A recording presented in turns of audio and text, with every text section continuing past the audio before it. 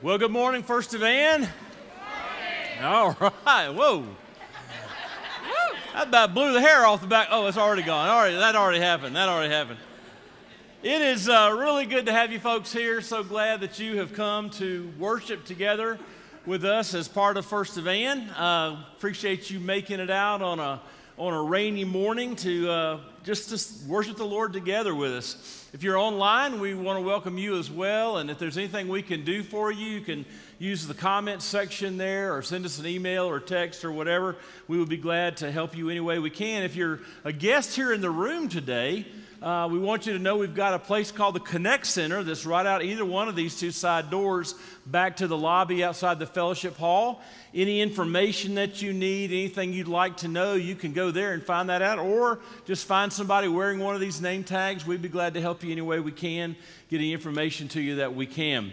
Um, the student ministries has their IRL weekend coming up. I finally found out what IRL stood for. It stands for in real life, and that's going to be happening uh, March 1st through the 3rd out at Pinecrest Camp in Moscow, Tennessee. Uh, the cost of that's $140, and they're going to be diving into the first, second, and into first, second, and third John, and uh, then just spending a lot of time together and just uh, that richness of that community as a group. Uh, Saturday of that week, end the uh, the high school part will be going on a hike, and the middle school is going to be competing in the annual Survivor Games. Uh, but the registration deadline is February 18th, so be sure you get that taken care of. By then, you can register with the youth department or firstevan.org/irl. Um, life Choices Bottles for Life, we've extended that another week. You can turn those in to the Connect Center uh, or the table in the fellowship hall between anytime between now and next Sunday. Uh, so help out Life Choices if you can. Put cash, uh, checks, whatever in those little uh, baby bottles, and we'll get those over to Life Choices. Um, David Stevens is going to be concluding his series uh, on Stand Firm. Uh, David, really appreciate you being here and, and ministering God's word to us for these last four weeks. It's been a blessing and just encouraging us as you've opened Ephesians chapter 6, uh, this whole, and today talking about the warfare of prayer. We're looking forward to hearing that. And of course,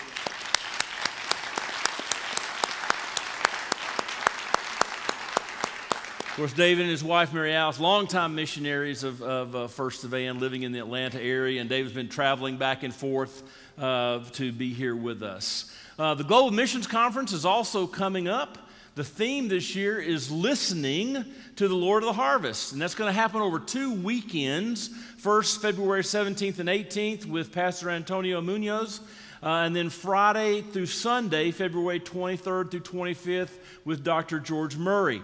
Uh, we're going to be hearing from those speakers about the importance both of going and of sending, and then ask ourselves, God, what do you want me to do? What is my role in this? What would you have for me? Uh, details and the schedule for that are in uh, on the website at firstevan.org/gmc. And by the way, uh, you know, I give you these email addresses. I know you don't remember what those were. Just there's a little search thing up there. If you just go search missions conference, it'll all come up for you. You can find those things pretty easy. There's also going to be some children's programming, and I'm going to ask uh, Kate to come up and share with us about the kids missions conference. So, Kate, why don't you come on up?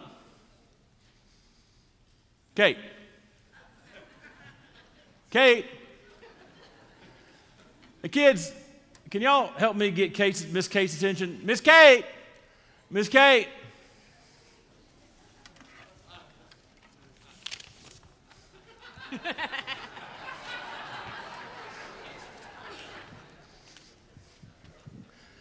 Kate, it's time for you to let us know about Kids Missions Conference. Okay. Thanks. I'm so sorry. I didn't hear you. Oh. I I was calling and you didn't hear. No, I forgot to put on my listening ears. Ah, okay. You have them on now? Hold on. Okay, that's so much better. Oh, great, That's so great. much Tell us about Kids Missions Conference. Okay, so Kids Missions Conference this year. Um, we all know that God's Word has lots of good things for us to hear. And God knows that too. But He also knows that sometimes we have trouble hearing Him. That's why Jesus, when he was teaching, he told the crowd, He who has ears to hear, let him hear. So, we as Christians want to learn to be people who really hear what God has to say to us. On Friday night, February 23rd, while parents are downstairs learning about listening to the Lord of the harvest, all the kids are going to be upstairs learning about having ears to hear. And we happen to have an ear doctor in our congregation. So, Dr. John Tuliados is going to come and he is going to teach us all about how listening actually happens and what's going on in there. And then on Saturday morning, on February 24th, when you come back to church after you grab a donut, you might want to be prepared for some international travel because we are going places. But I'm not telling you where until you come that Saturday morning. We are going to go meet some missionaries to that country, and we're going to learn about the people and the culture and the language that they, uh, that they share the gospel in. And we're also going to have snacks and crafts and lots of fun. So, register by this Wednesday and you'll get a cool t shirt if you do. Register by this Wednesday to join us for KMC or Kids Mission Conference. We'll have a great time learning together all about our amazing ears and how God would have us use them to be really great listeners so we can love Him more and share His gospel with the world that He made and loves. You can register online at globalmissionsconference.com slash kids, or you can navigate your way there through our uh, website. Um, and if you need help registering, we'll have um, some computers and some staff out in the lobby to help you after the service. Thanks so much.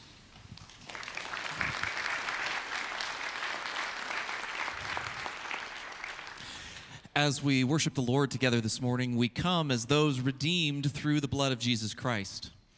What a radical change has happened as the Lord has brought us from darkness to light. He's brought us from death to life. He's brought us from being incapable of changing ourselves to being changed by Him.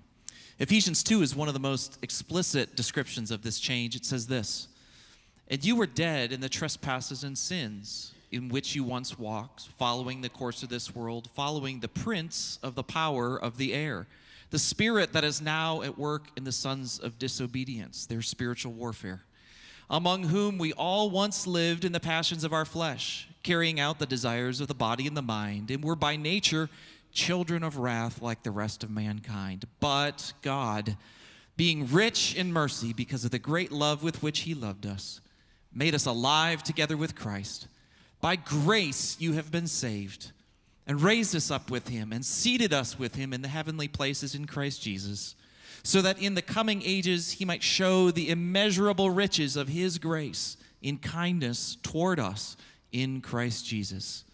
We're going to sing the hymn, And Can It Be, together. The hymn contains this death to life theme, and so we're going to do things slightly differently. We're going to sing the first few verses seated and quietly. And the sense as we sing those is how can it be, really, that you would die for me?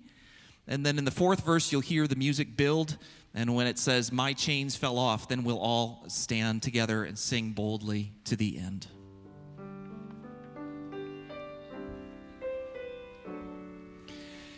And can it be that?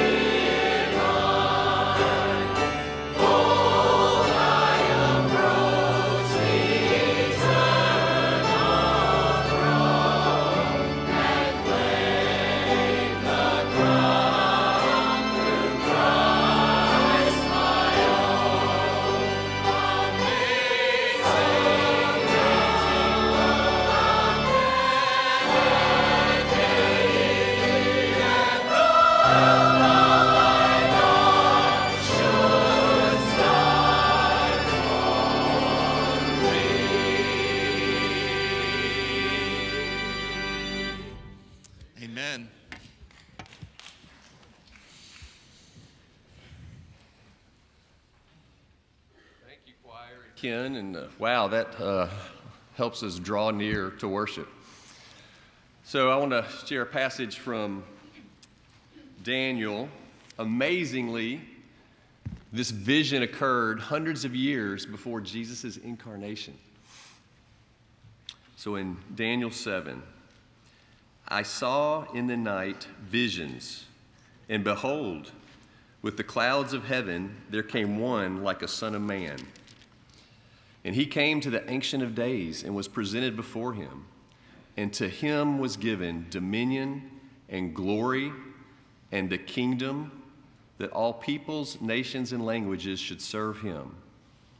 His dominion is an everlasting dominion which shall not pass away. Let's pray. Thank you, Father, for giving your Son this glory. We each woke up this morning with a holy invitation to worship, and I'm so blessed to be in the presence of those who have responded to your invitation. May our worship this morning be pleasing to you. May each of us here have grateful hearts for the mercy of our Lord Jesus Christ that leads to eternal life. We confess that we've sinned against your commandments by greedy, lustful, selfish thoughts, works, and unbelief. We ask you to receive us into your grace by the forgiveness of our sins. What a blessing to know that when we stumble and fall, we can still land in your grace we are so thankful that what we earn and what we deserve is not what we get. You are faithful to us through all our failures. We have many physical needs in our congregation, and I pray that Al Heindel's upcoming back surgery is successful. I lift up my aunt, Donna Tuliadis, as she's recovering from a severe viral illness. I lift up Jim Henry, who's been through more than his share of medical problems, and just encourage him in rehab. Many in our congregation are dealing with life threatening illness and cancer. May their faith be strengthened as they endure what is usually thought of as life's most difficult trial. We celebrate new life in the recent birth of May Williams McCarty the new granddaughter of Hal and Shannon Stanley. We pray for your mercy and peace to families that have had recent deaths. I think of the impact this family has had on our congregation and way beyond, and I lift up the Barnhart family at the passing of Richard Barnhart. I also pray for Becky Anderson at the passing of her sister, Ann Petty, and I lift up Grady Sanborn at the passing of his sister, Tina Dover. I pray for our missionary of the week, Charity Gurley, and our ministry partner, Young Lives. Thank you for their commitment to you and bless their work. Today, as David Stevens shares your word with us, open our hearts to hear from you. We have a tendency to blame this world and not take personal responsibility for Satan's progress in seemingly stifling your work. Help us today to think more that we may be contributing to what's wrong with this world and teach us how we can bring more light into our sphere of influence, how we can pray to you and follow your leading to avoid the schemes of the evil spiritual powers that are the driving force of all that's against your righteousness. As you exhorted us, may we stay dressed for action and keep our lamps burning and be like men who are waiting for their master to come home from the wedding feast so that we may open the door to him at once when he comes and knocks. This journey through earth is surprisingly short, so help us to always keep the end in sight. May we who have received the Lord Jesus for our Redeemer, may we with sure confidence behold him when he comes to be our judge. And it's in his excellent name, Jesus, the only one who can give us this confidence that we pray. Amen.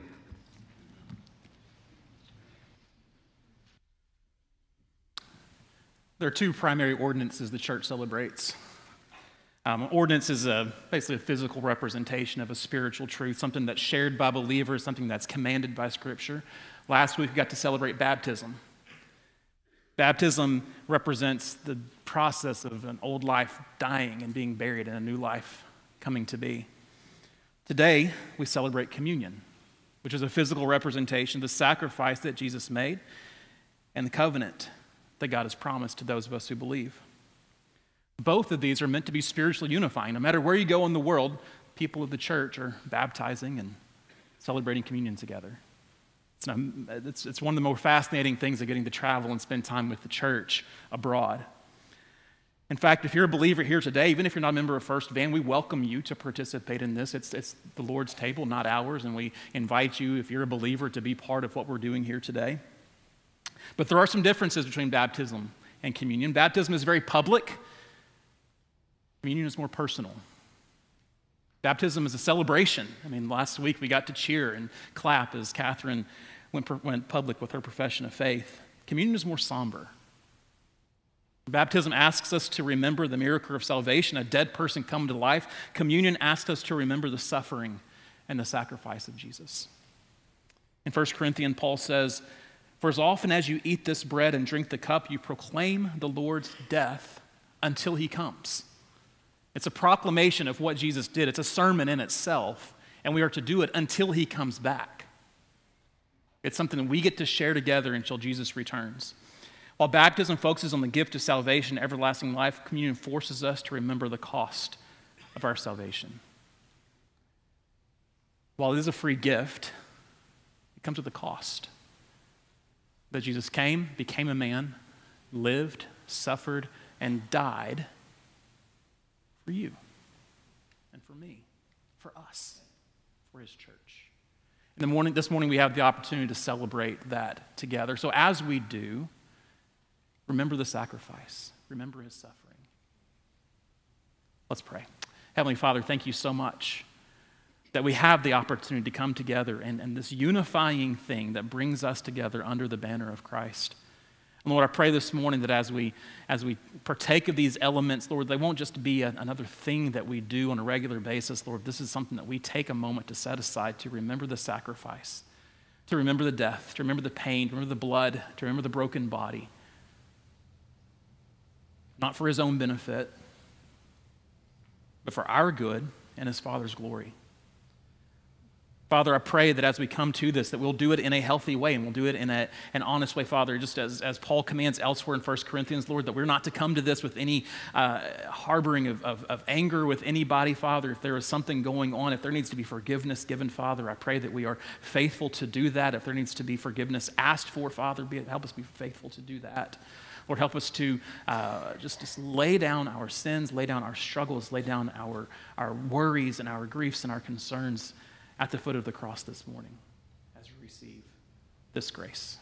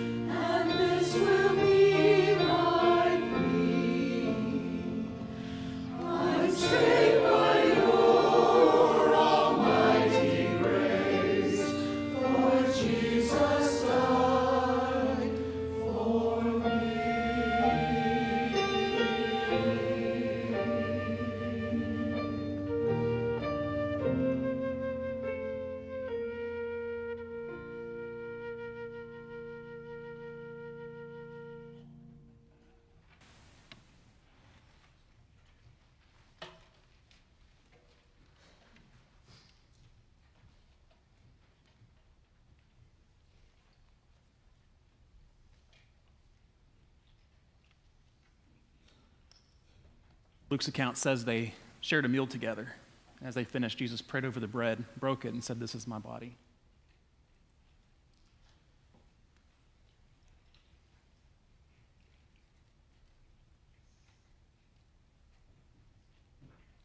In the same way, took the cup. This is the new covenant in my blood. Do this, remembrance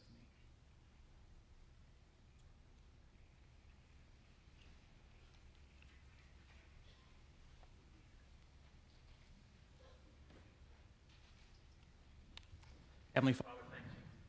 Thank you for all you've done. Let's stand together, lift our voices, and praise the Lord for his work.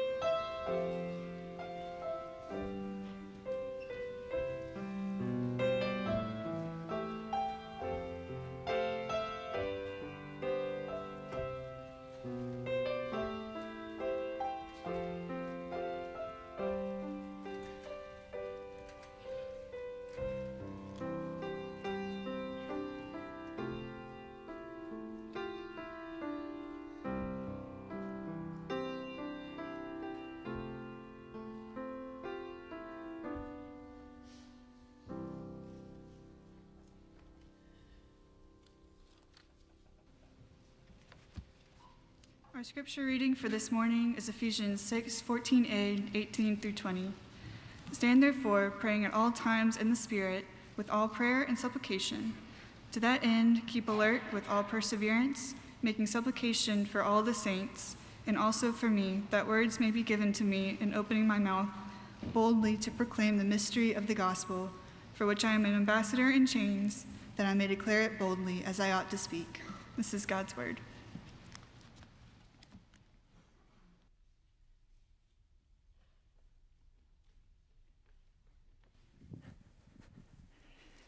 Thank you, Gina, for that reading of Scripture. Thank you, worship team, for that amazing, amazing song, King of Kings. And thank you, congregation, for allowing me and my wife, Mary Alice, to spend these last four Sundays with you. We feel deeply honored and privileged to have had the opportunity to be back here at First Evan, this church that has meant so much to us you have prayed for us and supported us through both good times and difficult times. And we are deeply, deeply grateful. Not only have we enjoyed the privilege of sharing God's word, but it has been a joy to have interaction, personal interaction with many of you. And that has truly enriched our faith and encouraged our hearts. You know, I was thinking, Taylor, that uh, I, think, I guess you already took it with you, that megaphone. It's not up here. I, I haven't needed a megaphone because I have sensed that your spiritual hearts and ears have been wide open. And that has been a great joy. Thank you very much. We look forward to being back at the missions conference in a couple of weeks. Lord, we ask again that you would open our hearts and ears to your word, that you would speak to us through this portion of scripture that has just been read, and that the Spirit of God would prompt within each one of, one of our hearts a willingness to obey, not only individually, but we ask also collectively as a church body. In the name of our Lord and Savior Jesus Christ, we ask it. Amen. It was in 1952 that a doctoral student at Princeton University approached Albert Einstein and asked a rather interesting question What is left in the world for original research? And Albert Einstein looked at that student in the eye and said, Find out about prayer. Somebody find out about prayer. Prayer is indeed a puzzling mystery, is it not? After all, think of it. If God is truly sovereign, omniscient, all knowing, and is perfectly able to carry out his plans and purposes without your help or mine, why pray? The one who spun the worlds into existence and upholds them by his mighty right hand. The one who said, I am, that is, the one who is self existent in and of himself, implying that he really doesn't need you and me. Why would this God of the Bible institute what appears to be the rather paradoxical program of prayer? And then beyond that, what does prayer have to do with what we've been talking about spiritual warfare. Or more specifically, what is the precise relationship between prayer and the putting on of the different pieces of God's splendid armor? In this passage, Paul doesn't tell us all there is to say about prayer, but he does answer several key questions that are vital for you and me if we are to better understand this dynamic relationship between prayer and spiritual warfare. You see, in this particular passage, those little ing words, taking up, putting on, praying, they cannot be disassociated. They are inseparable in meaning, and they all go back to the one primary command of Ephesians chapter 6. And that one primary command is this stand firm. That's the theme of our series stand firm. And so, as we think about that, we ask, why pray? Well, here's the first good reason, which is more implicit from this text than explicit. We pray because intercession internalizes the instruction of God's Word. For example, in chapter 1, Paul talks about the fact that the Father has planned our redemption, our salvation. The Son of God purchased our salvation. The Spirit of God protects our salvation.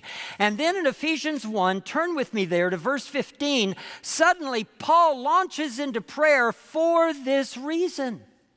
And then in verse 17, he says, I keep asking that the God and Father of our Lord Jesus Christ might give you a spirit of wisdom and revelation in the knowledge of Him. And then he focuses primarily upon the fact that you and I have been actually lifted up in Jesus Christ far above all principality and power and every name that is named. Paul internalizes instruction through intercession. And then when we come to chapter 3, after Paul talks about this mystery, the fact that Jew and Gentile have been brought together in one living body of Christ, he begins to pray this truth into the believers. Verse 14 For this reason I kneel before the God and Father, from whom all family, every family in heaven and on earth derives its name so that Christ may dwell in your hearts by faith. And then we come to our passage, Ephesians chapter 6, verses 10 to 20. And after recounting all that he has said about the significance of standing firm, Paul moves into prayer, praying, praying in the Spirit on all occasions with all kinds of prayers and supplications. So, what really is the instruction that Paul has given us? A very brief recap. It is summarized under that one basic command that governs everything else that Paul says in this passage, and it is that imperative stand firm. You see, that is not merely a defensive spiritual stance, it is also offensive, as we have already seen. The first three pieces of the armor are more defensive in nature, the next three pieces are more offensive in nature. It was a military metaphor that described those who took a very firm stand against the enemy, but were also aggressively moving into battle because they were confident of victory. And that is why we have underscored several times that you and I, as believers in Jesus Christ, we do not fight for victory, we fight from victory. We fight from the spiritual high ground. How is it that we can fight from the spiritual high ground? It is because our union with Christ in his death, burial, and resurrection that deals specifically with the power and penalty of sin also defines our identity in Christ in his cosmic victory. As the apostle Paul puts it in Colossians 2:15, he disarmed the powers and authorities having victory over them through the cross. Satan indeed has been put on a lethal leash. And though in your life and mine, and in the context of the church, at times that leash may appear very long, if not loose, nevertheless, that leash is there because our enemy, the adversary, is doomed. The victory was already won at the cross of Jesus Christ. And so Paul can tell us in verse 10 of Ephesians 6 finally, be strong in the Lord and in the power of his might. It's not somehow finding strength in ourselves, whether it has to do with temptation or the onslaught of the enemy in our minds, it has everything to do with finding our spiritual strength in who we are in Jesus Christ. But how are we to be strong? We are to be strong by putting on the pieces of the armor. Basically, in those verses, verses 13 to 17, Paul has told us this In the truth, in the truth, the righteousness, and the peace of the gospel. In bold faith, with a renewed mind, and the spoken word of God stand firm against the adversary's malicious attacks. But in order for us to understand that and see it part and parcel of our experience with Jesus Christ, it has to be internalized through intercession. That is why it is good to take every message that you hear, every Bible study that you attend, every time of discussing God's Word, and mix it with prayer, because it is through prayer that those truths are internalized in our lives. Here's a second reason prayer is the means of deploying the spiritual armor that we have been given.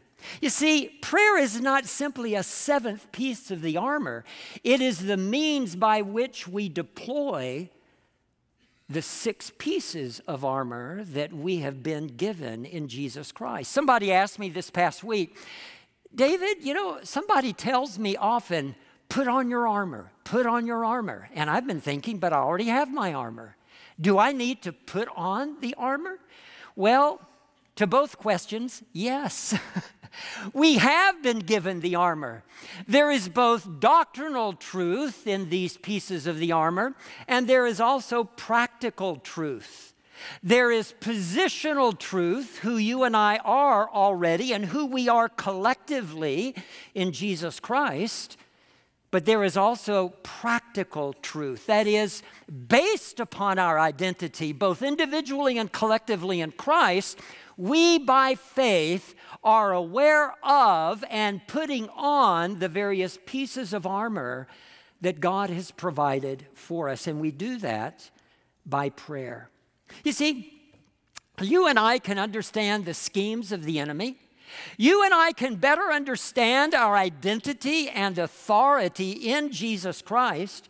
You and I can study these various pieces of this splendid spiritual armor that has been made available to you and me.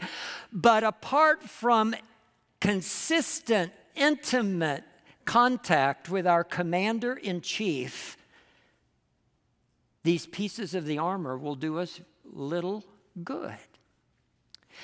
I had the privilege of pastoring a church in Belgium for about five years in southern Belgium near the NATO base. It's called SHAPE, Supreme Headquarters of Allied Powers of Europe. And our church was 85% military officers. There at SHAPE, there are more than 31 nations from around the world, but specifically Europe, that are there as our defense, the Allied force defense. We had the privilege for nearly three of the five years that we were there of having the Supreme Allied Commander as a member of our church, General Curtis Mike Scaparrotti. And, you know, I learned a little bit about the military during those years. One thing that struck me is that there at Shape in Belgium, they are in constant contact with all of their fields, unbroken contact. In fact, Shape is basically a communication center. When the Allied commander showed up in our church on Sundays, he would be accompanied by several security guards, not only to protect him, they were there to remain in constant contact in case of emergency. They were on the alert. Today in the military, we don't use walkie talkies anymore.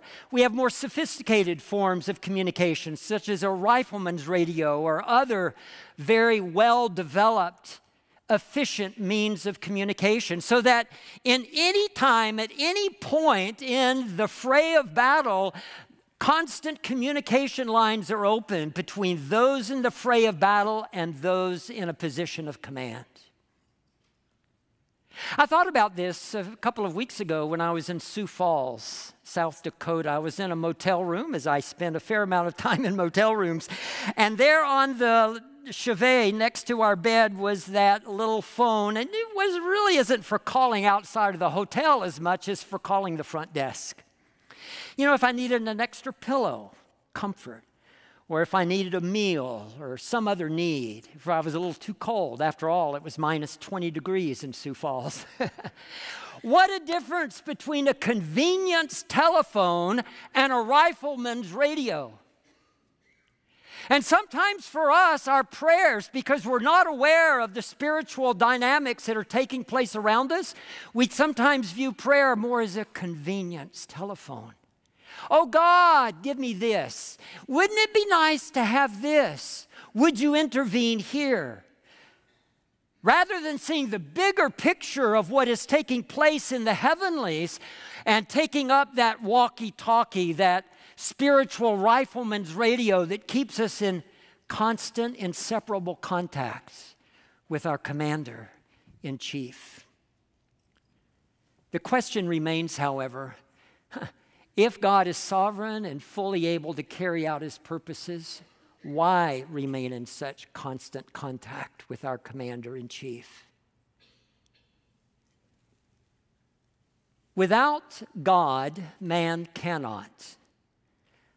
Without man, God often will not. You may not be in agreement with that statement, but I believe I can support it throughout Scripture.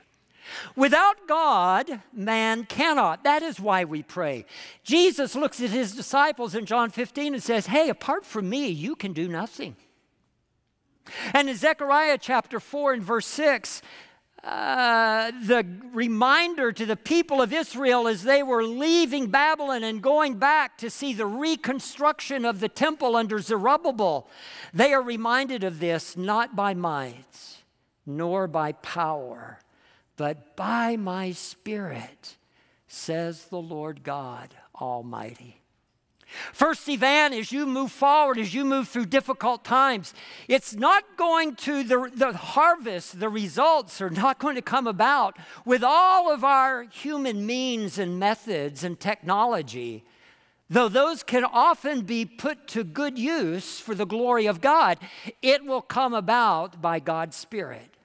And that is why prayer is so very vital. Without God, man cannot. But get this without man, God often, often will not. Because God has chosen to involve you and me in the accomplishment of His purposes. In a very real sense, and I say it respectfully, God depends upon the prayers of His people. Not because he has to, but because he has chosen to. Two examples Daniel chapter 10. An amazing passage. We referred to it several weeks ago. You heard it preached some months ago. But remember what is taking place? 6th century BC. Daniel is praying, mourning, and fasting for three weeks, 21 days. Why? Because he knows that the work back in Jerusalem is being hindered. As that first group of exiles are now returning to reconstruct the temple, rebuild the walls, rebuild the city, reinstitute the worship, it is being hindered because the crown prince under the ruler Cyrus, and his name was Cambyses, was hostile towards the people returning. So Daniel is praying during 21 days. And suddenly, in his time of prayer, an angel touches him on the shoulder. And what does that angel say? He says, Your words have been heard. I have, I have come in response to your words. Daniel chapter 10 verses around verses 12 and 13. What if Daniel had not been praying? What hindered Gabriel from coming? Well, the text tells us there was spiritual warfare in the heavenlies. It says that the prince of Persia, who is a celestial demonic being, was fighting against Gabriel, but Michael came to assist Gabriel. And Daniel chapter 11 tells us that Michael came to assist Gabriel because previously, during the reign of Darius, Gabriel had assisted Michael. Now, when you and I read such passages with our Western mindset, we say, wow, that's, that's bizarre. But, friends, this is the Word of God. It is probably the passage of Scripture that gives you and me, more than any other text of the Bible, insight into what is really taking place 24 7 around you and me and around the church of Jesus Christ. Well, that's the Old Testament example. What about the New Testament? In Mark chapter 9, verse 29, the disciples are encountering an, a young man who is demonized. In other words, a demon has taken control of that young man. It's throwing him down. He's foaming at the mouth. He's gritting his teeth. And sometimes the demon attempts to cast him into the fire because that's what the enemy wants to do. He wants to kill everybody. He wants to kill you. He wants to kill me. And so Jesus comes on the scene, and the disciples are discouraged because they say, Hey, we, we tried to see deliverance in the life of this young man, but we couldn't. And Jesus reminds them of what he had often reminded them of oh, you of little faith. He had a special term for that. In the language of the New Testament, it's oligopistoi. Oh, you people of such little faith. And then Jesus shows how that deliverance would take place. He delivers that young boy in the authority of the Father, and then he reminds the disciples this kind cannot come out but by prayer. This kind cannot come out but by prayer. Here we have two examples where God has chosen to work through individuals. On the one hand, Daniel, who is praying. On the other hand, Jesus Christ, the God incarnate in the flesh, but also then later the disciples who are able to continue that type of ministry of deliverance Without man, God often will not. Why? Because he wants to associate you and me in the accomplishment of his redemptive purposes. Really, that's what Jesus is saying in John chapter 14, verses 12 to 14, a passage you probably know quite well. Jesus looks at his disciples and says, Truly, truly, I say to you, he who believes in me, the works that I do, he will do also. And greater works than these will he do. Why? Because I'm going to the Father, implying I'm going up and the Spirit is coming down. And because whatever you ask in my name, I will do it, in order that the Father may be glorified in the Son. Essentially, Jesus tells us in that passage the greater redemptive works of Jesus Christ are accomplished by the power of the Holy Spirit, and this in direct response to believing prayer. You see, our prayers should always be in the name of Jesus, for the fame of Jesus, with a view to the reign of Jesus on this earth and through the church of Jesus Christ. It's like having a boat on a sandbar. I don't know if you've ever experienced that before. My dad used to take us down to the Gulf of Mexico, and as the tide would go out, sometimes that canoe that we had would get stuck on a sandbar. Guess what? Canoes can be heavy. And when that canoe gets stuck on a sandbar, you can do all you can to move it forward or to pull it back, and you can barely budge that vessel. But when the tide comes in, it lifts up that vessel and you can move it as you wish. See, that's what prayer does. Prayer, believing prayer, brings in the tide of God's Spirit in our lives individually, in the life of the church. Satan wants to build sandbars. Jesus Christ brings in tides in response to prayer. That is why we pray. We can do more than pray after praying, but you and I can never do more than pray before praying. God's work swings on the hinge of prayer, not because it has to, but because God has chosen it to be that way. When prayer goes up, God's power comes down. We see that in Acts chapter 6, where for the early church, the two primary pillars of the church were prayer and the Word of God. And may that remain true here at First Evan. For it is only through prayer and the Word of God that the tide comes in, that people are saved, that believers are built up, that the church is edified, and that the forces of evil are pushed back. So, how are we to pray? Uh, we've spent a lot of time on this question, why we are to pray, and I wanted to intentionally camp there but let me briefly, from this passage, answer two other questions. How are we to pray? Well, Paul gives us some clues here in this text. In fact, he tells us what frequency our, our rifleman radio should be on. And the frequency it should be on is described by the little word all, which is used at least four different times. Notice, at all times, with all perseverance uh, for all the saints. And then Paul says, with all prayer and supplication. Literally, he is saying, with all kinds of prayer and supplication. We need that in our times of prayer together, individually, within your family, within prayer meetings in the church. Lest prayer meetings become monotone.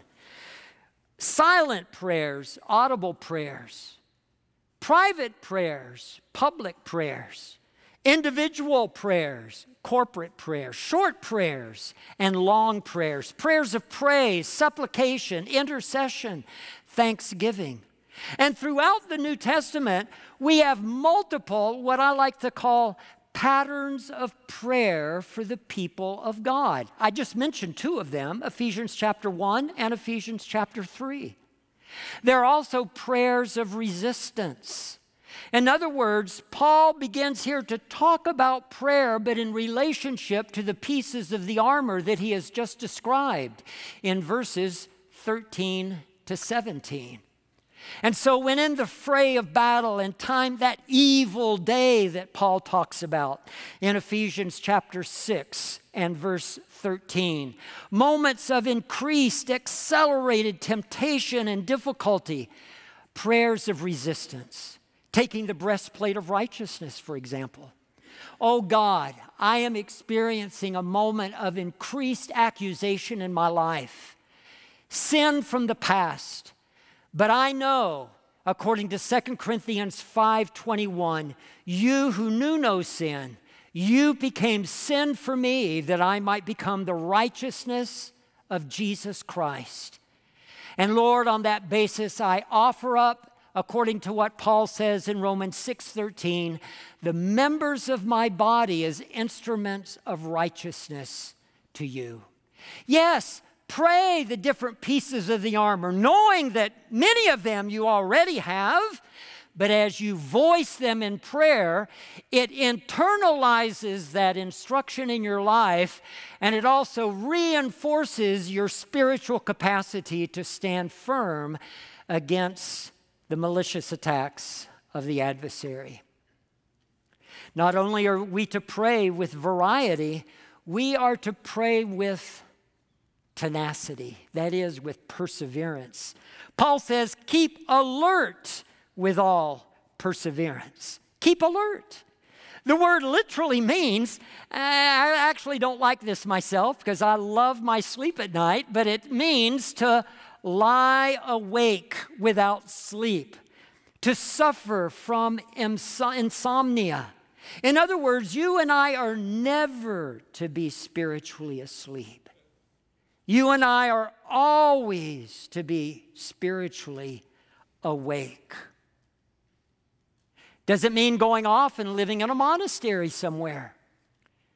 Paul was an activist. But I imagine that the Apostle Paul probably understood what that brother Lawrence meant when he talked about practicing the presence of God at every moment, every moment, every waking moment, and during the night as you wake up to allow your heart to lift itself up in prayer to God. You know, personally, my wife has been a great example to me in this area, and that is why I am so thankful she is often with me in ministry opportunities because she is an intercessor more than I am. I can't tell you how many times at night she is lying there praying for countries around the world, and next to her is a man dozing off in a deep snore. And, uh, you know, we'll be walking along a path near a trail that where we walk regularly where we live. And she'll be interceding and praying. I have to be careful that she doesn't trip on something or run into somebody. she has a unique way of taking every thought of others and turning them into a prayer for others. It's a very helpful way to stay in constant com- contact with our commander in chief. Yes, with tenacity. I have posted watchmen on your walls, O Jerusalem, Isaiah 62, verses 6 and 7. And they will not be silent day or night. You who call on the Lord, you who call on the Lord, give yourselves no rest the passage should be up on the screen. Give yourself no rest, and give him no rest who will establish Jerusalem and make her the praise of the earth. Yes, we are to be like watchmen on the walls, constantly interceding, aware, spiritually aware of the battle that is raging around us. For in doing so, we are not overcoming God's reluctance. We are laying a hold of God's willingness. We are not in persevering prayer getting God to join us in our plans. We are rather in persevering prayer joining God in His plans. That's why the psalmist can say, He trains my hands for war. And for you and I, as New Testament believers, we need to pray that God train our hands, train our church, train the body of Christ for spiritual warfare. For prayer is an apprenticeship. Daniel was going through an on the job training as he prayed for 21 days. The disciples, as Jesus pulled them aside and said, Hey, guys, this kind doesn't come out but by prayer. They were involved in on the job training. They were learning what it means to claim their spiritual authority in Christ. Oh, we could say much more about these aspects of prayer. We are to pray dependently. Paul says, praying in the Spirit. That means I believe he describes it well in Romans chapter 8, verses 26 and 27. Write that passage down, by the way. Romans 8, 26 and 27. In the same way, the Spirit helps us in our weakness. You and I feel weak in prayer at times. Either we might not off in our sleep and our fatigue, or our minds are distracted. Paul says, In our weakness, the Spirit of God helps us for we do not know how to pray as we ought. Did you catch that? The great apostle Paul, who penned the words of Ephesians 1 and the prayer of Ephesians 3, says, I don't know how to pray as I should. But he goes on, but the Spirit of God prays for you and me with groanings too deep for words. And the one who searches our hearts knows the mind of the Spirit, for he intercedes for you and me, the saints, in accordance with the will of God. How freeing that is. When you and I don't know what to pray or how to pray, our prayers serve as a trigger to the action of God's Spirit. And we know that the Spirit of God can take those prayers and reinterpret them so that they are according to the will of God. Believer, never be discouraged by your uninformed praying, for the Spirit of God is able to pray in a very informed way. And He promises to take those prayers and use them towards the accomplishment of God's will. What are we to pray?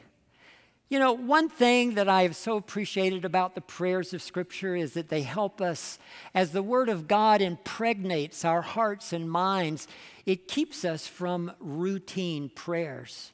And I believe here that Paul gives us another pattern of prayer for the people of God.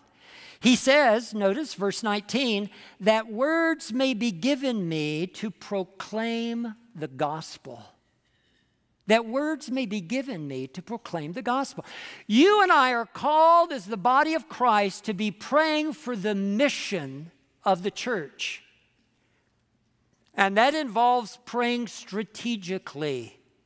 There are many passages of Scripture that relate prayer specifically to the mission of the church. Colossians 4, pray for open doors.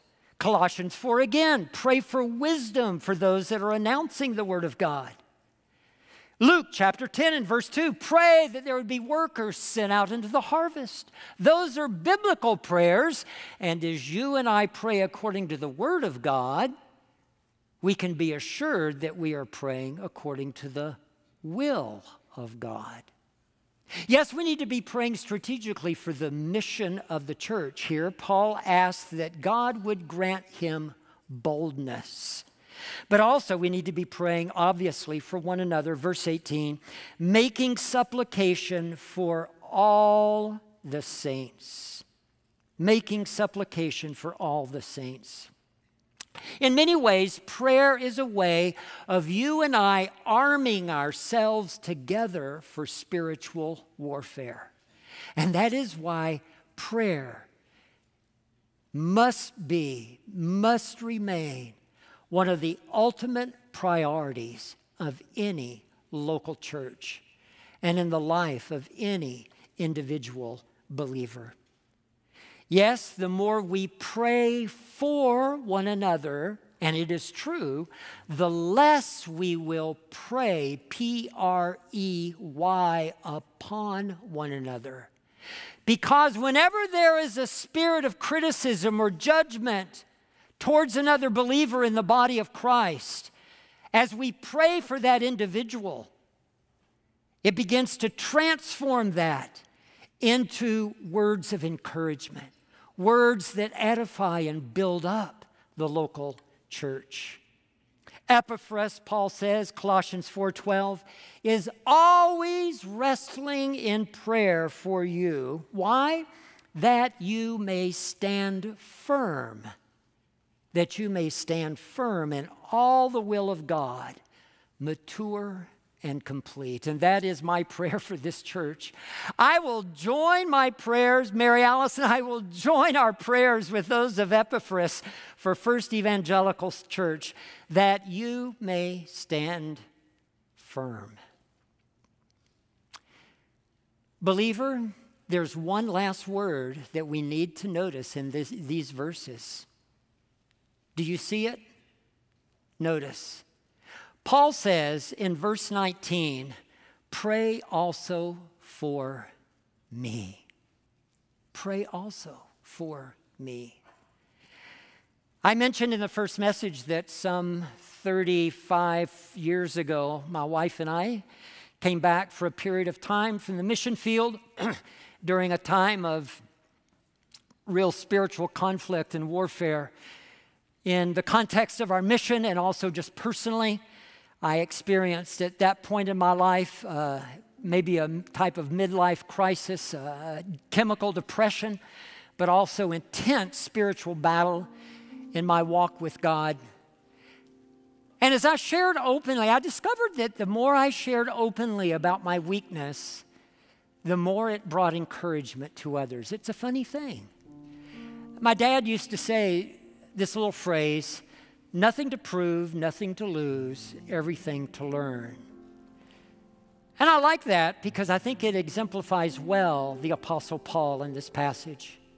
I mean, get this Paul, this great apostolic missionary, responsible for a huge portion of our New Testament, and yet here he writes and he says, Believers, pray for me. Pray for me. Maybe today you feel that way. Maybe in your own heart you feel like, wow, I'm in the fray of battle. I have a wayward child or a grandchild. I'm being accused in my mind. I'm feeling sick and weak. Age is having its effect. Whatever circumstances of life you are encountering, you can do exactly what Paul does. You can say, Pray for. Pray for me. Maybe you could just take pen out and or pencil from the pew in front of you, and there on your bulletin where it says, Pray also for me, would you just write down where you need prayer today? Write it down. You know, when we write something down or when we speak it, it, it brings it out. It lays it before God, it lays it before others, and that's a very healing process. Write it out. And in just a minute, we have a few people gathered around. I know this is not typical for First Evan, but you know what? God often wants to take us out of that which is typical. Sometimes He wants to make us uncomfortable. And it's often in times like that that we experience the greatest spiritual growth in our lives. So we have some people around the auditorium here. You see where they are. And in just a minute, you're going to stand and we're going to sing a song, What a Friend We Have in Jesus. Listen to these words. Just listen to this. What a friend we have in Jesus, all our sins and griefs to bear. What a privilege to carry everything to God in prayer. Have you trials and temptations? Is there trouble anywhere? We should never be discouraged. Take it to the Lord in prayer. And there is no better way to take it to the Lord in prayer than to take it to the Lord with others in my own journey, I think that the times of greatest spiritual resourcement and strengthening have been when I've been humble enough to say, I've got trouble. I need help. Would you pray with me? So today we want to simply, th- these are watchmen. They're not on the wall, but they're next to the wall from Isaiah 62. They're there. And they're just available as we sing, What a Friend We Have in Jesus. You want to take what you've written down and go to one of these dear brothers and sisters and say, just pray over me. You don't have to divulge all your life. Just they'll just be there to pray, to pray over you. In the name of Jesus Christ.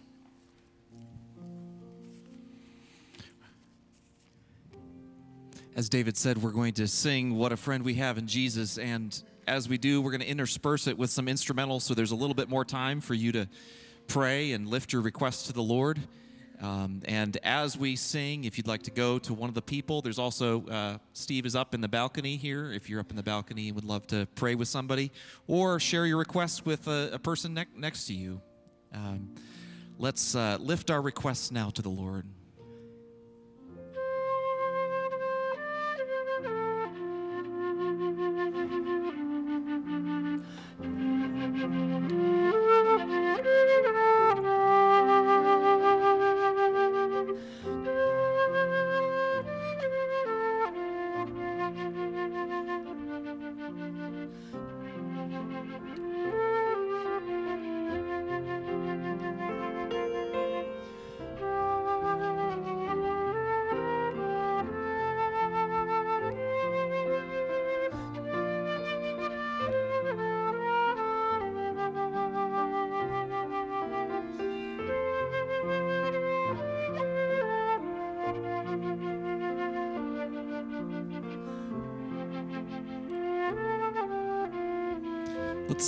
Together. What a friend we have in Jesus.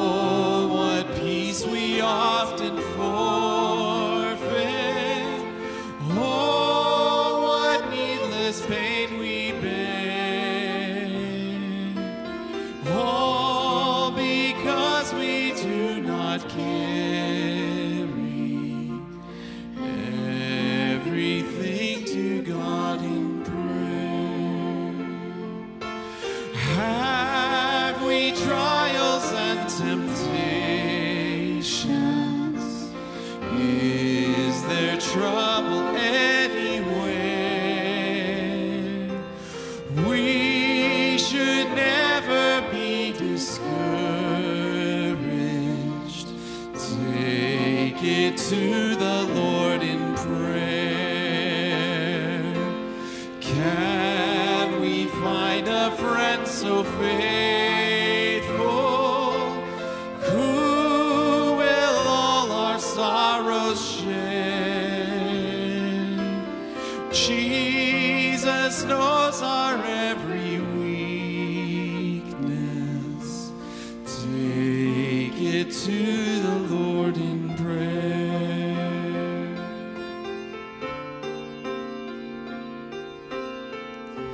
continue to pray as we listen to this verse.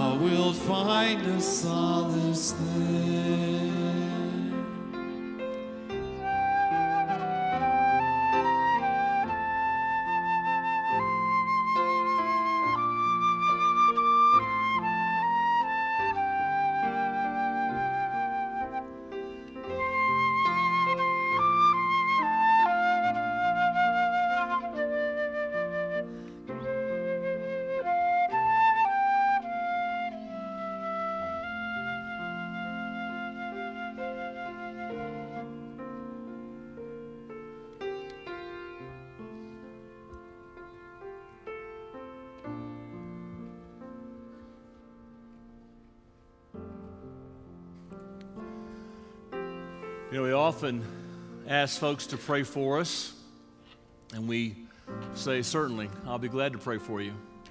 And we part ways. And often we um, come to someone and say, Will you pray for me? And they say, Of course. And we walk away. Maybe a habit we should build is to make that right now. Will you pray for me? Sure, let's pray. Can I pray for you? Sure, let's pray. And make that a part of how we practice the one another's of the New Testament. If you do us a favor as you get ready to leave today, we do have a memorial service in here uh, shortly. You could just grab your communion cups, grab your bulletins, things like that, take those with you as you go. And go with this precious word from Philippians chapter 4 The Lord is at hand. Do not be anxious about anything, but in everything, by prayer and supplication with thanksgiving, let your requests be made known to God. And the peace of God, which surpasses all understanding, will guard your hearts and your minds in Christ Jesus. Amen.